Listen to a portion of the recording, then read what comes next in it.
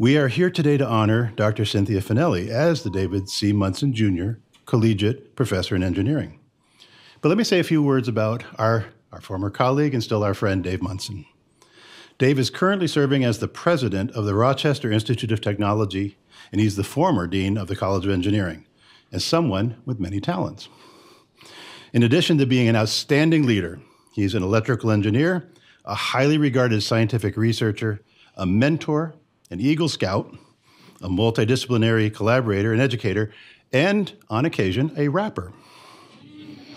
Um, to that end, I'm not sure how Dave will address us today, but we, um, we, we open up on the opportunities for creativity. Dave joined U of M as professor and chair of EECS in 2003, where he led the EECS department in increasing its commitment to undergraduate and graduate programs. He was appointed the Robert J. Vlasic Dean of Engineering in 2006, where he served two five year terms.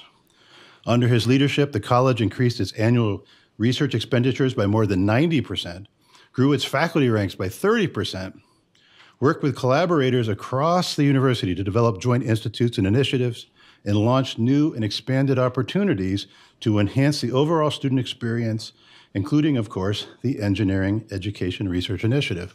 I had the pleasure of speaking with Alec Gallimore, current provost at Duke, the, the dean that, that followed Dave. And Alec wanted to both say congratulations to Cindy, to say welcoming Dave back to Ann Arbor. And both he and I wanted to express to Dave that um, the college is, runs very well.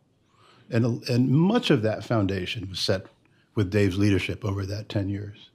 You can always tell when someone's had such a positive impact on a place that they can come back and they see the structures and processes and some of the people that they, that they helped along the way. So I just want to say that, Dave, this is always your home. You've made it such a great place. You're always welcome back here. Dave became RIT's 10th president in 2017, where he is responsible for one of the nation's leading creative and innovative universities that leverages the power of technology, the arts, and design for the greater good. Throughout his career, Dave has advised more than 50 MS and PhD thesis students, served on committees for many others. He's a fellow of the Institute of Electrical and Electronic Engineers, IEEE, and he's earned many other awards and honors, including the Benjamin Garver Lamme Medal from the American Society of Engineering Education, the highest award for an engineering administrator in 2016. I had a chance to work with Dave. Not all of his decisions were, were that great. He made me the chair of naming. and, um, and so the fact is, is that as part of that, I had an opportunity around that time to, to start a little center with the Navy. And you know, you always want to have the support of the college leadership when you're going to go talk to folks. And I remember that Dave and myself, and now the chief of staff of the university, John Kinsey, were sitting in the office of the Secretary of the Navy, Don Winter. And that led to a lot of great activities we had in that department. We started the Naval Engineering Education Center. And not only was Dave there to help initiate and ideate that, but as I ran that center for five years, it's now part of NAVSEA's educational structure. Dave was always a supporter. He was always there, willing to, to, to come forth and speak to leadership of the Navy, um, speak to the congressional delegation when necessary. So it's just an example of how Dave walks the walk as an administrator. It's fitting that the collegiate professorship bearing Dave's name is being presented to another dedicated leader focused on inclusive and holistic experiences for engineering students. Congratulations to the David C. Munson Jr. Collegiate Professor of Engineering, Cindy Finelli. Once more. We'll now hear from Professor Dennis Sylvester, Interim Chair of Electrical and Computer Engineering.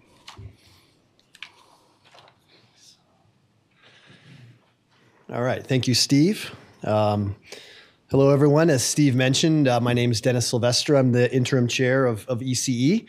And uh, I would also like to welcome you all to today's event, uh, uh, honoring and celebrating the remarkable achievements of Cindy Finelli, who is a, a true trailblazer in her field. Um, we have a couple of other individuals talking more about Cindy, so I'll just say a few quick words um, before I introduce the next speaker. Um, Cindy is an alumnus of our department. uh, having studied under Janice Jenkins, who you may be interested to know was the first female hired into our department as a faculty member. Um, Cindy joined the department in 2015 and has been mainly teaching our introductory course on electronic circuits, which is growing by leaps and bounds and is our foundational course for our department. So we love to put our best teachers in that class.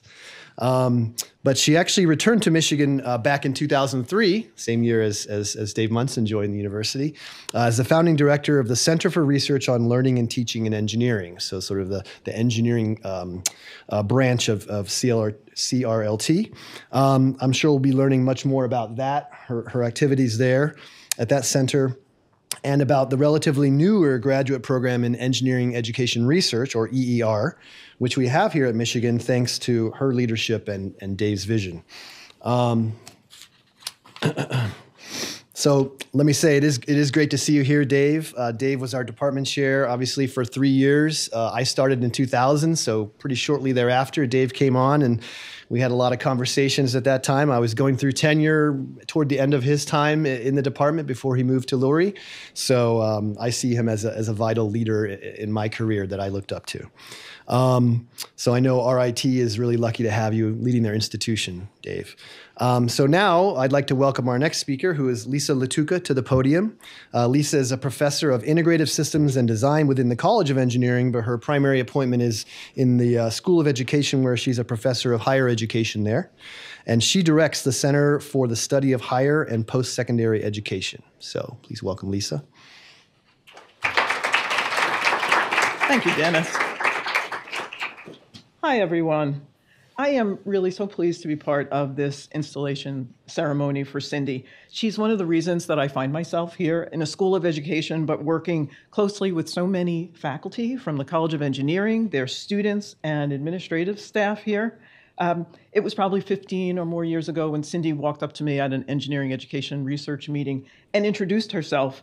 And that little introduction uh, became a series of conversations about our scholarship, about the emerging field of engineering education research, um, and eventually to our colleagueship in EER and to a real friendship. So I'm so happy for that. Um, in many ways, the story of Cindy's engineering life is a story about connecting and supporting people who are interested in improving engineering education. And she did it well before she came back to U of M.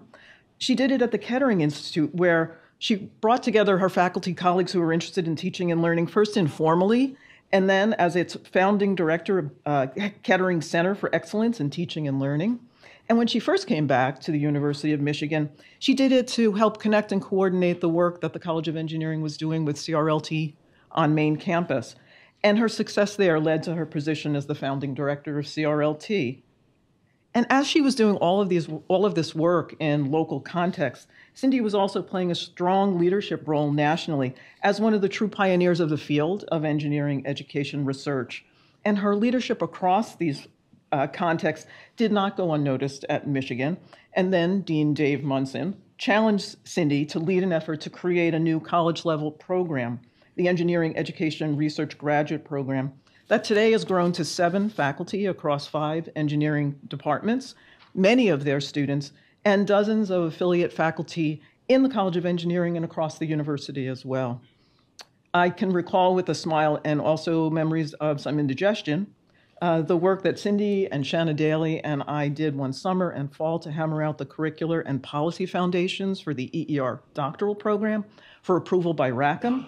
And no sooner was that program approved that Cindy found herself trying to figure out how to contribute to the hiring of EER scholars who would be appointed in engineering departments in the college. As these foundations were being laid, Cindy was also taking the EER show on the road, so to speak, trying to talk to her colleagues about this new and emerging field that was unfamiliar and to convince folks truly that the program model and the field belonged here in the College of Engineering and at Michigan. In the years since then, Cindy has been the sole director of EER, seeing it through inevitable hiccups as policies and practices were written and revised, mission statements and vision statements written and rewritten, strategic plans created and updated, and new faculty and EER graduate students welcomed. And as she's done in each leadership role in her career, Cindy has moved an idea from imagination to implementation to success. It seems to me that the qualities that led Cindy to the top of the EER field nationally and now internationally intellect and passion, clarity of purpose, unyielding commitment, and their necessary complement, which is the willingness to collaborate and co construct, distinguish her work here at U of M as well. And it seems to me also that Cindy doesn't see her work as simply occurring in the College of Engineering or in EER. She sees it in a large part as being for the College of Engineering and for the field. So for Cindy, in and for are intimately connected in the vision of a community. And if you look at her record, you will see that pattern here and elsewhere. For Cindy to be truly in community, one must work in service of community. For these and for many other reasons that will be enumerated here today, we're very fortunate that Cindy Finelli resides and abides here, that she knows how to and works enthusiastically to make visions reality. And we're also fortunate that former Dean Dave Munson recognized and corralled Cindy's talents and service and spirits, I'm sorry, in the service of the college and the global EER community. And I feel very honored to welcome him to the podium for his remarks.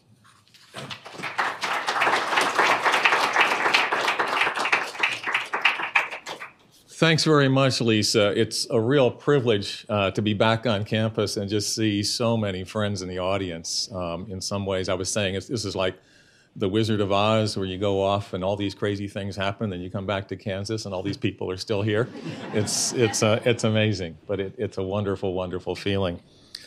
Um, let me talk a little bit about Cindy and and a little bit about uh, the engineering education uh, program here at the University of Michigan. Uh, the first thing I have to say about Cindy is, man, oh man, is she tenacious. And so early on in my time as dean, um, I started uh, interfacing a lot, in, in, in, probably more than I had before, with uh, what was at the time called CRLT North, right? Uh, Center for Research, Learning and Teaching North. And there was this young lady there that wasn't just giving seminars and doing all the regular things. She was conducting honest to goodness, serious research and really hustling to get the grants from the National Science Foundation. And that really got me to start paying attention to engineering education as a possible research field. And uh, I grew up, like most of the faculty in the room here, uh, doing very technical work. And um, it wasn't that I thought that engineering education wasn't a legitimate field, but, you know, is it really what we're going to do here? and uh, watching what Cindy did. And then, by the way, right away, Lisa Lattuca's name was coming up too, uh, the, the two of them. And uh, I became convinced maybe there was really was something there, and uh, started spending time with program officers at NSF, and then uh, attending an ASEE meeting or two. And as, a, as I'll call myself a regular faculty member prior to getting into administration, I'd never been to an ASEE meeting. Uh, and I started attending ASEE meetings and noticing the Michigan contingent and noticing who's at the center of these groups of people where there's this big cluster of people and you kind of pour through that. Who's at the middle? Yeah, people like Cindy. And uh, so at some point, I got pretty passionate myself about engineering education research and uh, wondered about how we might uh, build a program here at Michigan. And the idea I had, which never came to fruition, but let me tell you what the idea was, and then it, it was an intermediate step, if you will, to, to where uh, things have, have uh, turned out to be today. Um, I had an idea that it, in Michigan engineering, we would establish a new department, and the new department would essentially be our version of the Olin College of Engineering. So I'm very familiar with Olin, right outside of Boston. Um, years ago, I almost went there to help establish it. And you talk about innovative engineering education, boy, it was really happening there. And Rick Miller, the president of Olin, was a good friend of mine. Um, and so I actually had Rick come and visit. And he spoke to our department chairs.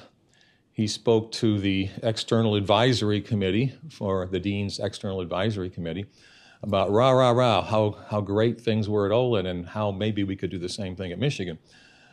But Rick did too good of a job. the department chairs listened to him and they said, Dave, we're not giving this up. This is really exciting stuff. We don't want this in some separate department. And so I said, okay, we're going to make a deal. And the deal is this. First of all, we're going to have a program in engineering education research at the University of Michigan. And if you're saying we can't have a separate department that would undertake that and, and offer kind of a general engineering education at the undergrad level, then you have to commit to me that you're willing to consider hiring on the tenure track faculty members into your department whose research will be on engineering education. And uh, everybody put their hand up, swore, and swore in blood, okay, Dave, we're going to do this. And I said, okay, first hire Cindy Finelli. And then I think next hire was Shanna Daly. And there have been a number of others since that time. Um, it was around the time I was departing um, uh, the dean's role here uh, that Cindy and Lisa were really getting going with, uh, with Shanna on the idea for the PhD program, which we wanted all along. But to make a long story short, absolutely none of this would have happened without Cindy Finelli. Um, universities love to sort of scour the landscape and look at hot topics. AI might be one. We're going to be the best university in the world in AI you can't do that if you don't already have some of the best people in AI. That's not how it works. You don't just go out and go shopping and buy people. You have to start with something. And uh, what a great starting point Michigan had with Cindy and Lisa and then others who have, have followed in their footsteps. So I've really admired uh, all the work that Lisa has done, and I've seen her present so many times. And I'll come back to that word tenacious. Um, most people simply cannot do what Cindy did um, and has done. They can't start in an organization like CRLT and then just turn their career into whatever they think their career ought to be. Uh, but Cindy has done that. And um, when she contacted me and said, hey, Dave, kind of like to name this professorship after you, I said, what? I was really awestruck, I have to say that. Um, I never thought there would be a professorship at the University of Michigan that would have my name associated with it. So thank you very much, Cindy, and we look forward to hearing from you.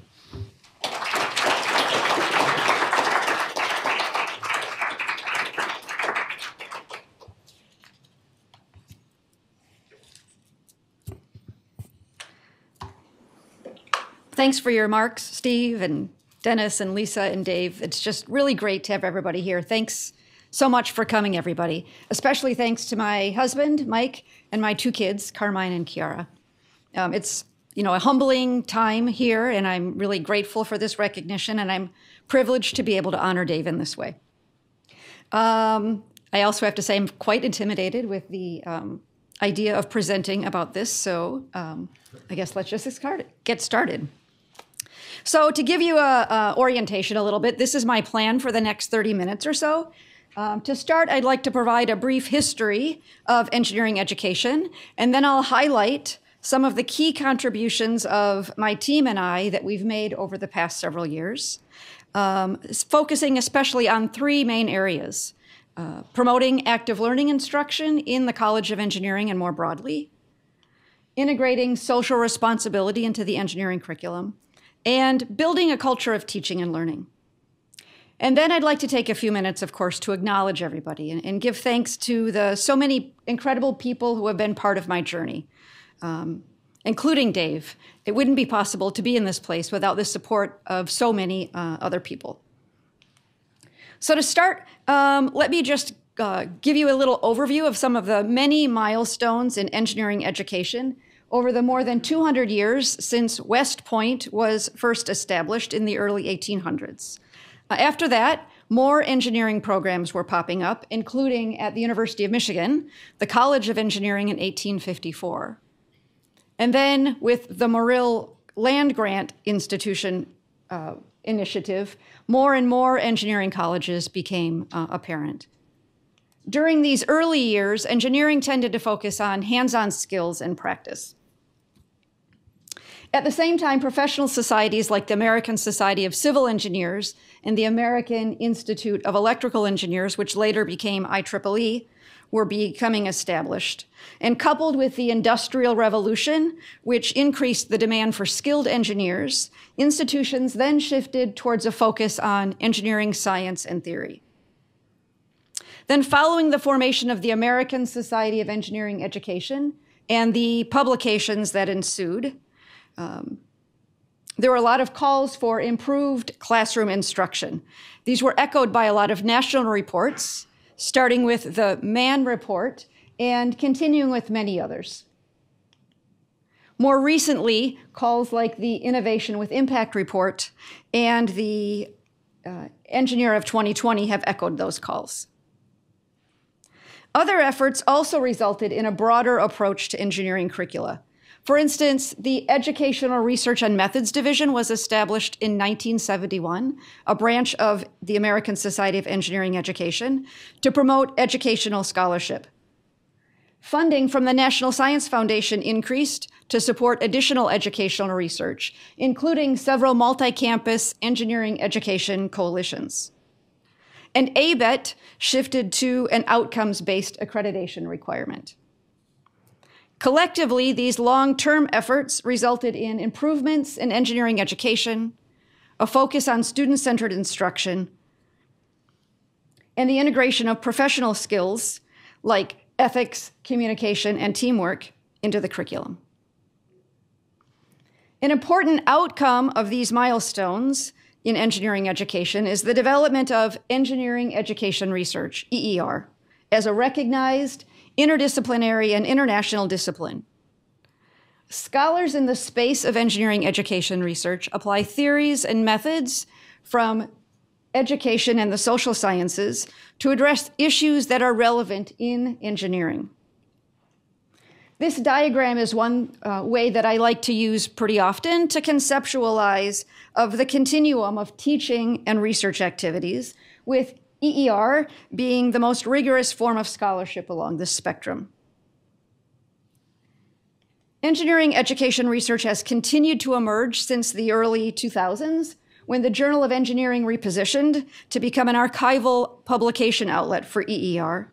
And it published a special issue arguing for stronger theoretically and empirically driven research in the field. The first formal graduate program in engineering education was established at Purdue University in 2005, and others soon followed suit, including Virginia Tech, Utah State, Clemson, and Arizona State. During the same, same time frame, we were also making efforts to explore the space in engineering education research. We founded the Center for Research on Learning and Teaching and Engineering, which focused both on teaching excellence and educational research, and we launched an EER certificate program for engineering doctoral students. Then, thanks to the effort of Dave, we established tenure line faculty members in 2015, and we recruited our first EER graduate student in 2018. We've had two students who graduated from that program last year. In the years after we launched our EER program at Michigan, several other PhD programs have started, including three in 2018 and others each year after that. Several other institutions have PhD programs in the works. So it might seem odd that I'm starting with the history of engineering education, but that's because my unusual career trajectory has really been anchored in that history dating back to 1983 when I graduated from Bridgeport High School, just 70 miles north of here. I only applied to one college, the University of Michigan. And as a first generation student, I was admitted to the university and I earned three electrical engineering degrees here over the next 10 years. Then I joined Kettering University as an assistant professor in electrical engineering, and I taught just about every EE course in the curriculum there. I also became more involved with faculty development, and I established the Center for Excellence on Teaching and Learning there. And at the same time, I started to shift my research from traditional electrical engineering studies to more theory based education research. And after being recruited by Michigan, I left Kettering to rejoin the University of Michigan in 2004 to establish and direct the Center for Research on Learning and Teaching and Engineering. Ten years later, I was hired in the Electrical Engineering and Computer Science Department, EECS, um, to do, uh, as you heard, research in engineering education as a tenure track faculty member there. Now I sit side by side with my EECS colleagues. I teach courses like signals and systems and uh, circuits, as you've heard. Uh, I recruit students from both electrical and computer engineering and the engineering education research program, and I compete for federal funding for my research from National Science Foundation. Uh, at about the same time frame, um, I worked with several others in the college to develop an EER graduate program, and since 2015, I've been the director and graduate chair of that program.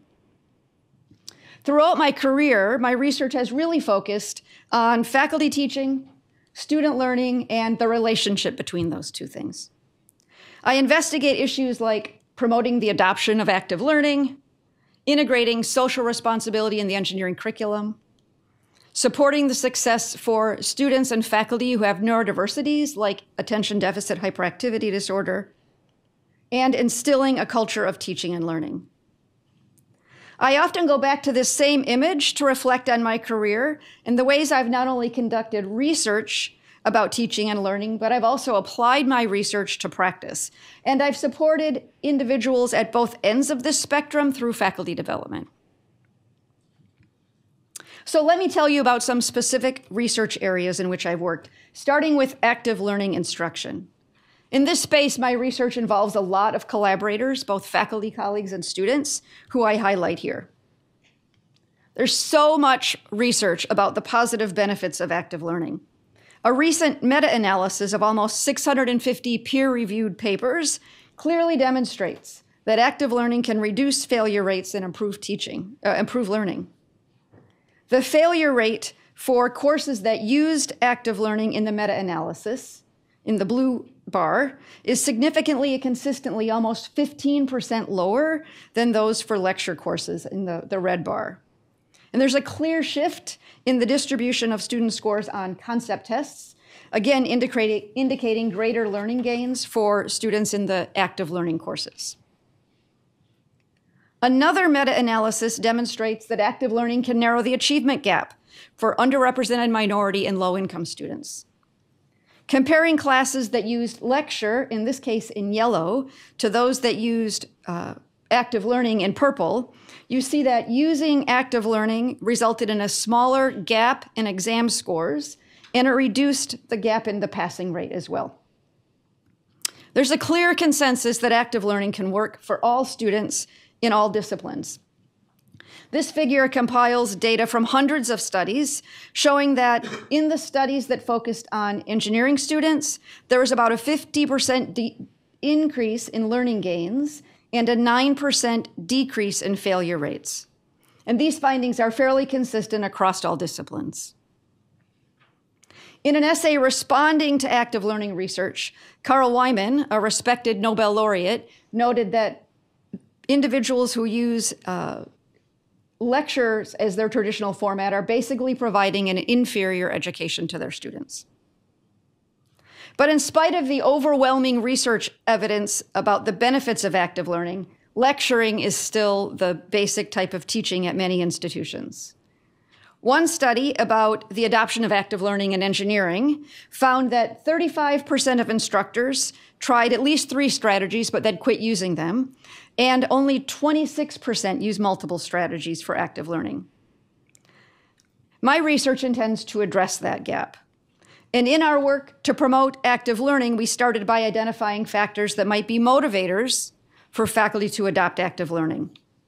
These include things like offering a local context for the research, providing personalized support to help faculty learn about and adopt active learning, emphasizing how active learning can benefit the student, providing a safe environment for faculty to learn and practice about active learning, and offering opportunities for networking and community building.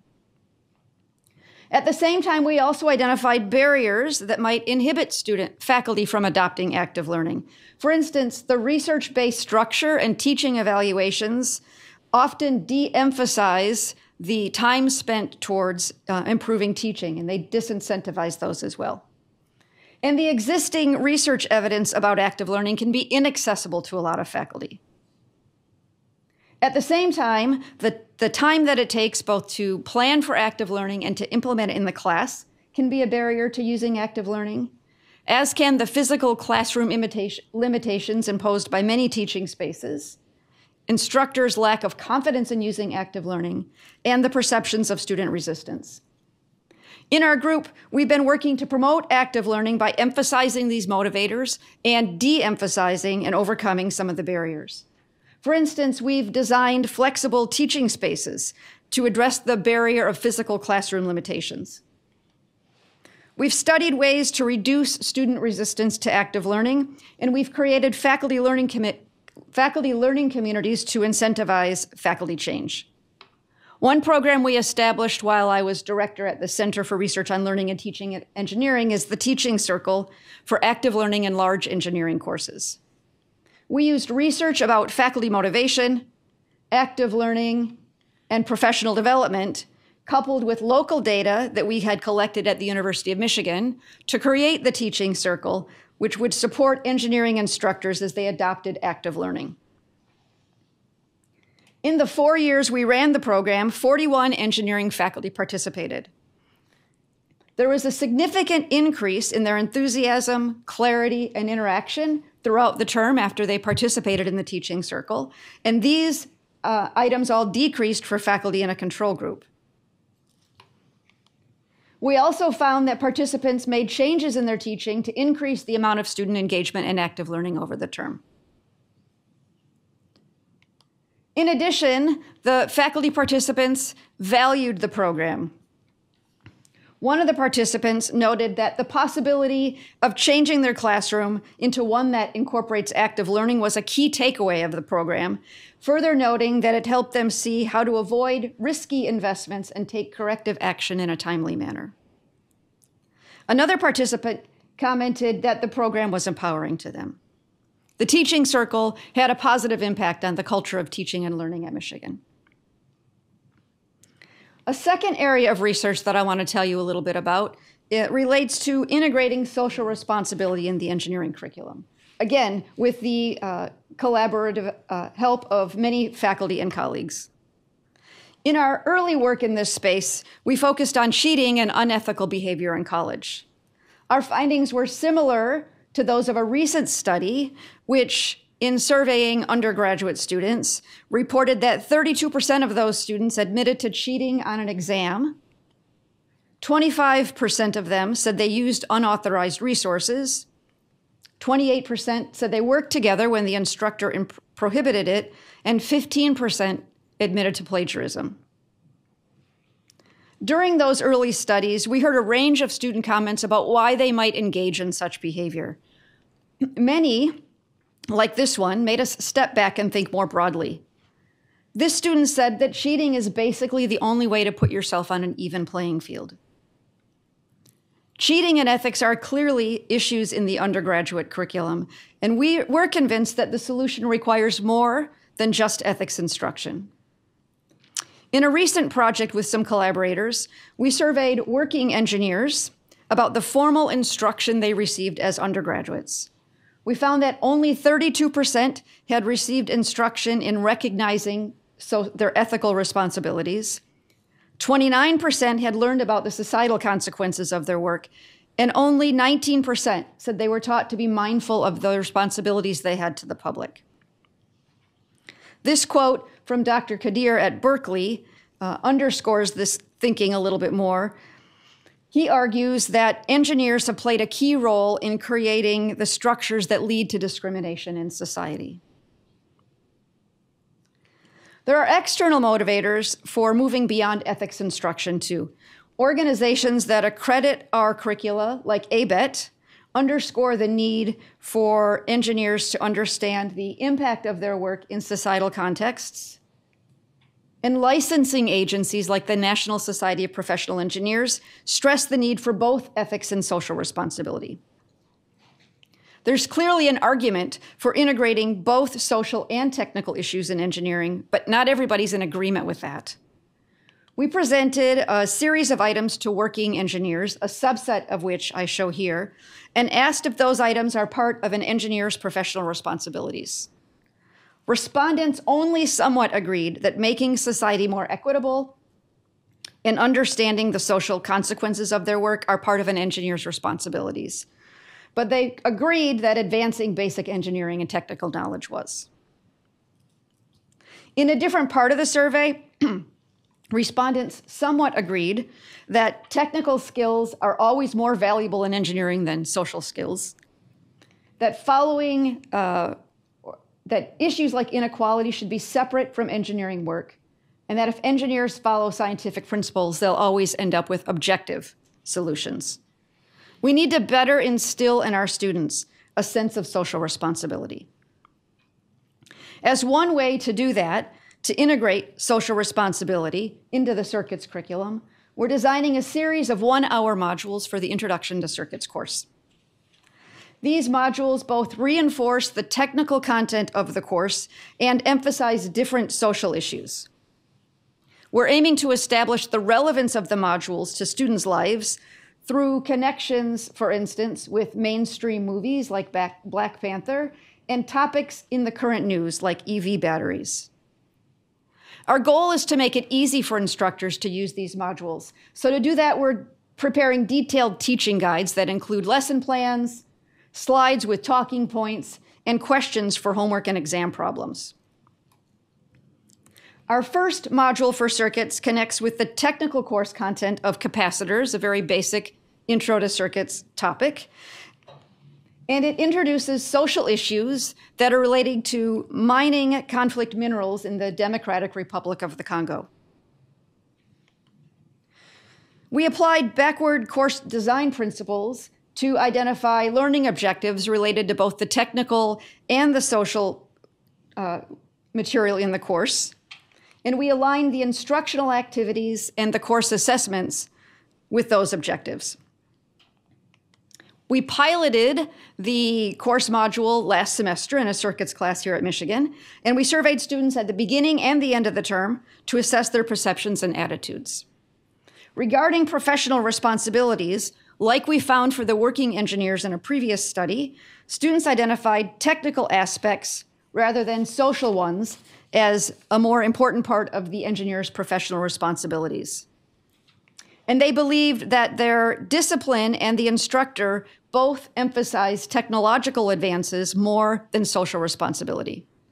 Encouragingly, at the end of the semester, there was a significant e- increase in students' perceptions about social responsibility. So we're starting to see some impact.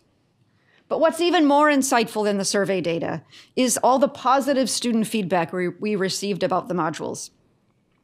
One student they noted one student noted that they liked the module because it allowed them to connect the course concept with real-world issues.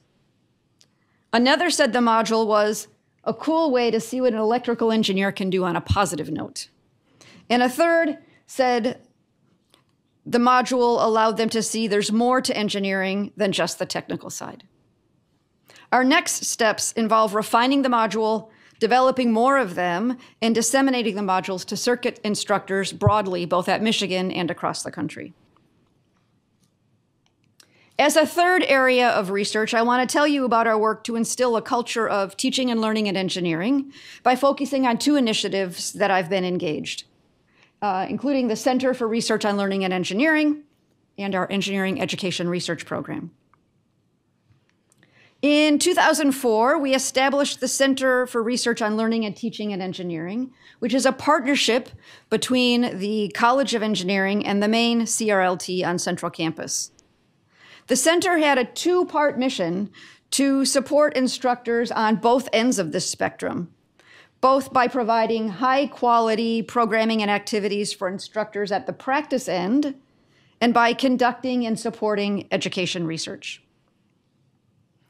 The professional staff who had been hired at CRLT Engine all had technical engineering PhD degrees, and they all had teaching experience in engineering as well. So they sort of speak the language of the engineer. And we appealed to the data driven mindset of our engineering audience by ensuring that our work was uh, research based and driven by the evidence.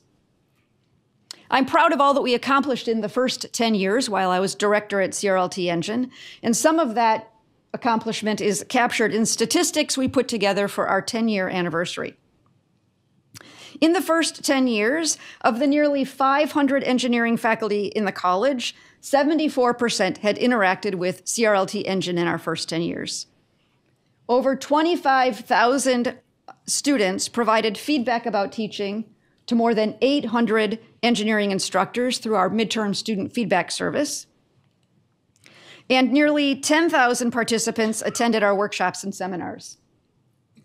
And CRLT Engine Research had published uh, over 125 refereed publications and were awarded 11 grants from the National Science Foundation. CRLT Engine has continued to thrive under the leadership of Tershia Pinder-Grover, who's here, and it's accomplished so much more in terms of impressive outcomes. They routinely engage about 70% of all engineering instructors through workshops, learning communities, and more. And they've launched new initiatives focusing on excellence in education, such as the Engineering Education Innovation Days and the Foundational Course Initiative. They've also expanded their initiative to include a major focus on diversity, equity, and inclusion, with support from the National Science Foundation to offer and, and to develop a teaching engineering equity center and inclusive STEM teaching project as well. They've also offered equity centered engineering teaching circles, and programs focused on digital accessibility. CRLT Engine continues to have a lasting impact in the college as well. And now let me tell you a little bit more about our unique Michigan model for EER that's being emulated by others across the country. As you heard, about eight years ago, Dave uh, uh engaged the community in creating five tenure lines for faculty to be embedded within the traditional engineering departments, but to do EER as their main form of scholarship. We worked together to develop a college wide interdisciplinary graduate program, which leveraged the expertise from across the university, from the School of Education, the College of Engineering, psychology, social work. We have so many strengths across the college. Today, we comprise eight faculty who advise students in our home departments as well as in the engineering education research program. And being integrated in the departments this way has allowed us to have research that achieves both immediate impact and establishes the foundation for longer term advances. And we're having an even bigger impact beyond our university. Other places like Nebraska, Cornell, North Carolina State, and more are building programs based on they call on what they call the Michigan model. So finally, that brings me to the good stuff. There's so many people who have contributed along the way to my success through the years. First and foremost, uh, my family and friends. I want to start out by saying I'm thankful to my parents for instilling in me a true thirst for knowledge and education. Neither of them was able to earn a formal college degree, but all three of their kids, my sister and my brother and I all earned PhDs. So that's quite a testament to their love and encouragement. I'm also uh, thankful to my two amazing children, Carmine, who has a chemical engineering degree from our university in 2018, and my daughter Kiara, who is wrapping up her degree in LS&A and will be graduating with a major in sustainability in, in May. Um, they've been my constant cheerleaders. They keep me grounded and they've been there to help me achieve a healthy work life balance by reminding me there's so much more to life than just having success at work. With my husband, we've been having uh, a blast kind of building out our new, our purpose company, trying to um, support sustainability in the design of new furniture. And of course, my husband, Mike, of 35 years. We've been on this journey together. He's always been there for me, pushing me to be, be, my best and never doubting me, even when I doubted myself. He's been the most awesome life partner. He's been by my side through it all, and I couldn't be anywhere without him. We all know that in research, students are the key to achieving great things, and that's been so true for me. I've been fortunate to work with lots of graduate students, undergraduate students, and postdoctoral fellows, and I've learned so much from all of them about research methods, mentoring, and life in general. I'm so proud of all we've accomplished together. And I've also been blessed to have had the support of so many collaborators, colleagues, and mentors over the year, including Janice Jenkins, my PhD advisor, who sadly just passed away last month. She inspired me to pursue a career in academia. Susan Montgomery, who was a pioneer in this space and helped pave the way for where we are today. Tershia Pinder-Grover, who took over at the helm of CRLT Engine and is now leading so many great efforts there. Shanna Daly and Lisa Lattuca, who helped create our engineering education research graduate programs. Khalil, Mingyan, and Dennis, who've graciously enabled all of my work in the EECS department for the EER program. Michelle Chapman, Fatima Khan, and Kim Novak, the behind the scenes support who actually make our EER program run. And people like Fred Terry, Joanna Millunchick, Jamie Phillips, Noel Perkins, and Jeff Fessler, who have been eager to learn about EER and have co advised graduate students with me as they're pursuing EER projects. And there have been so many more. Thank you to everyone. And lastly, let me reflect on Dave Munson. You've heard me say that he's responsible for creating the EER program at Michigan, and really, he's one of the most important reasons I'm here. He's been a true inspiration who left a lasting impact both on U of M and on me. As you heard, 20 years ago, Dave joined the University of Michigan just three months after I did. And as a new faculty member, he attended the orientation program I facilitated in his first year. And even after he became de- dean, he continued to participate in our seminars through CRLT Engine. He attended the ASEE annual conferences, and he occasionally joined our EER community for social events. Through all of those interactions, he pushed for a culture of teaching and learning at the College of Engineering.